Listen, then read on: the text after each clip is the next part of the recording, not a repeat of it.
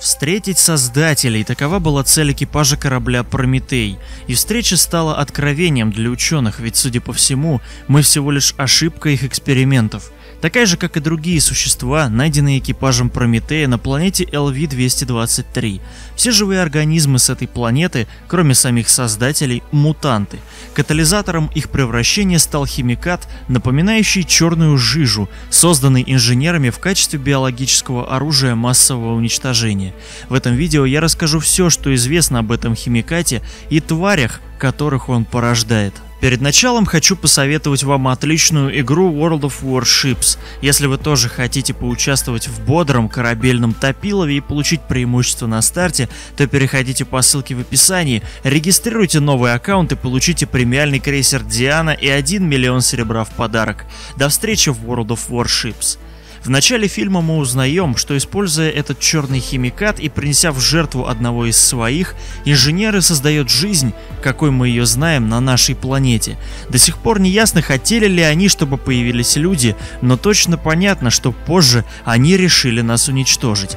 Для чего последний выживший создатель и попытался отправиться на Землю на борту Джаггернаута, в трюме которого находилось огромное количество стеатитовых ампул, содержащих черный химикат.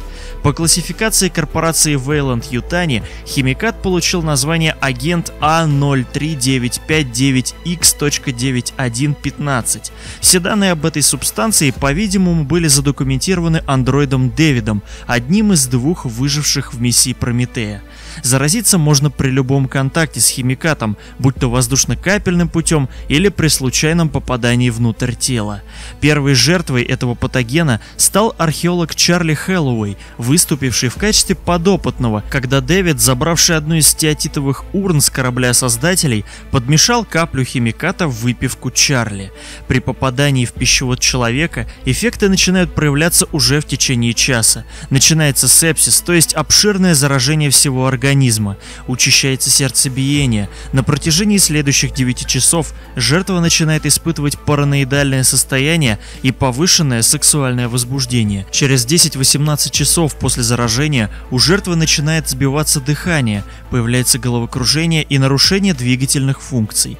Через 19-36 часов начинают проявляться судороги, обширное внутреннее кровотечение и отказывает дыхательная система. В конечном итоге наступает либо полное разрушение цепочек ДНК жертвы, то есть смерть, или мутация, превращающая ее в нечто совсем не похожее на изначально зараженное существо. На это влияет множество факторов, структура ДНК жертвы, ее физическое состояние и так далее. В случае с геологом Шоном Файфилдом произошла именно мутация, в результате которой он стал напоминать ходячего мертвеца, наделенного огромной силой и ловкостью, а также способного противостоять значительным физическим повреждениям. Убить его удалось только после множества выстрелов и поливания из огнемета. Но гораздо более жуткая вещь случилась с Элизабет Шо, которая имела интимную связь с только что зараженным Чарли. Так как химикат воздействует на весь организм целиком, видимо и сперма Чарли была к тому моменту уже изменена. Измененная ДНК Чарли была передана половым путем Элизабет, в результате чего та забеременела, но не обычным человеческим ребенком, а зародышем трилобита, огромного существа о котором я расскажу в конце видео. Еще одно существо, которое мутировало до неузнаваемости при контакте с черной жижей, это черви, единственные найденные экипажем Прометея местные формы жизни. Инженеры не являются таковыми, так как LV-223 это планета-полигон, на которую они очевидно прилетели со своего родного мира. Черный химикат из урн залил часть пола, по которому ползали эти черви, что и привело к изменению их генотипа. Маленькие черви сильно увеличились в размерах, достигая полутора метров в длину.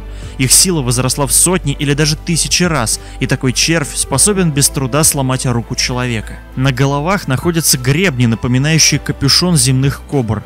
Между краями капюшона расположен рот. Кровь, по-видимому, очень близка по составу с кровью ксеноморфа XX121. Она кислотная.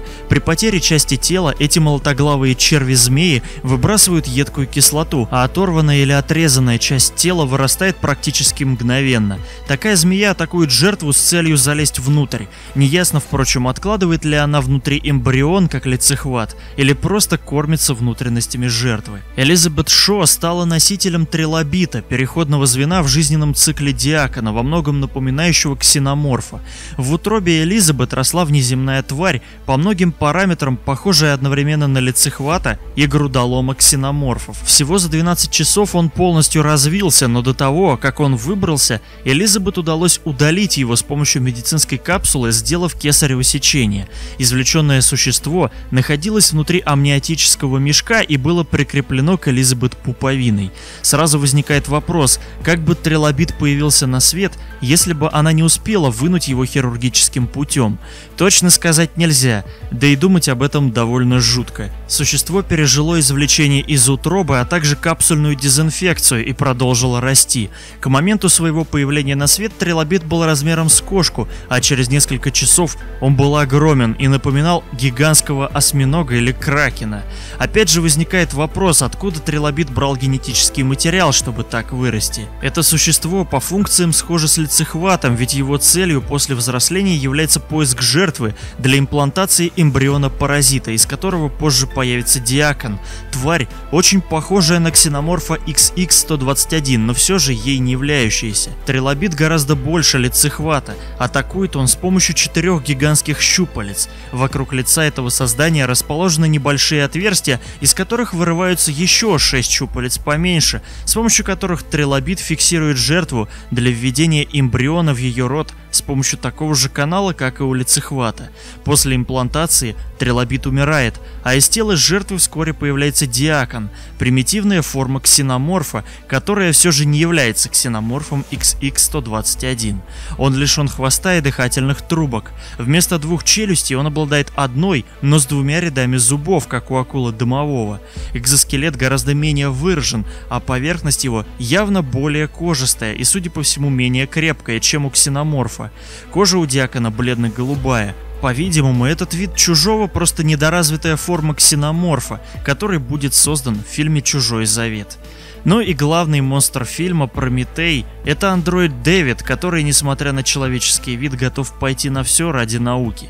Если вам понравился ролик, то поставьте, пожалуйста, лайк и напишите, о какой фантастической твари вы хотели бы узнать побольше из следующих видео. Ну и подписывайтесь на канал, если вы еще этого не сделали. Спасибо за просмотр. Не забывайте предохраняться на чужих планетах.